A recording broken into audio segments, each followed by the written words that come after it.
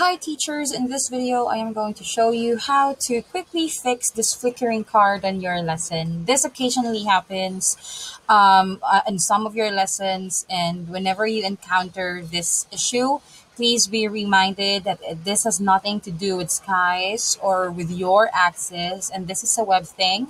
Um, this happens when an image is on the wrong size, so it flickers between two sizes and this is what happens to the card.